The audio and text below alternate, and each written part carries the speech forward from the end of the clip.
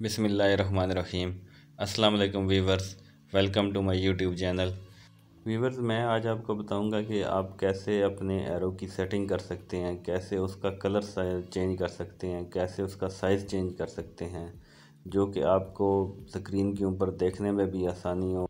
तो आइए चलते हैं वीडियो की तरफ़। आप सबसे पहले इसकी विंडोज़ में जाएँ, जहाँ पर जाकर आप लिखें माउस जब आप माउस लिखेंगे तो इसकी आपको सबसे टॉप के ऊपर आप देखेंगे इसकी सेटिंग आ गई है। आप इसको क्लिक करेंगे। क्लिक करने के बाद आप, इसके बाद आप इसकी माउस की सेटिंग में जा चुके हैं।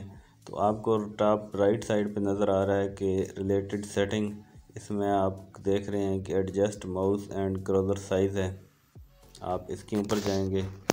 जब आप इसको क्लिक करेंगे तो आप ये देख सकते हैं कि आपके सामने ये पॉइंटर साइज़ और कलर जो है इसके ओपन हो गए हैं।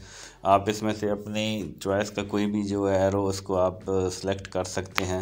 आप देखें इसके मुख्तलिफ़ डिज़ाइन है, नीचे ये वाइट एरो है। आप इसको सेलेक्ट करेंगे, ये वाइट हो जाएगा, ये ब्लैक एरो है। इसी तरह आप इसमें से जो भी आपको अपनी पसंद का है, वो आप इसमें से सिलेक्ट कर सकते हैं। इस ये देखें, सबसे एंड पे जो है इसका ये मुख्तलिफ़ कलर्स वाला है। आप इसमें से कोई एक जो भी आपको कलर पसंद हो, आप उसको इसमें से सिलेक्ट कर सकते हैं। ये जो भी आप कलर इसमें से लगाएँगे, वो आपके एरो का कलर हो जाएगा।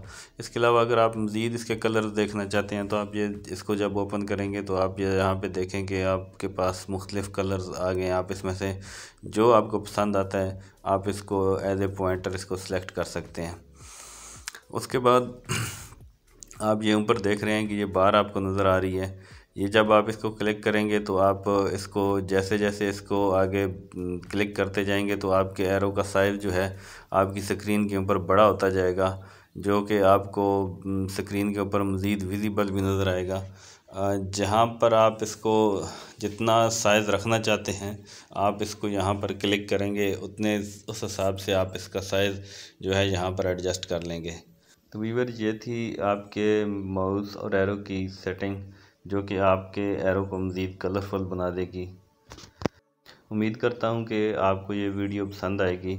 इसी तरह की मज़ीद इंफॉर्मेटिव वीडियो देखने के लिए प्लीज़ मेरे चैनल को लाइक करें और सब्सक्राइब करें।